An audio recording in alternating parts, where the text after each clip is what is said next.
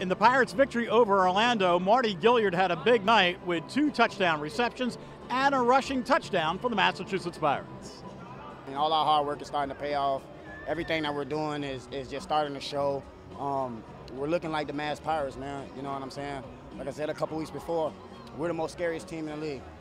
You know, um, when you got a team that's playing free, loose, you know, um, with no worries, you know, that's scary. You feel me? Like we're not worrying about losing the number one spot or number two spot. You know what I'm saying? That that's irrelevant for us. You know, we just want to play good ball and stay poised and stay true to us. You know what I mean?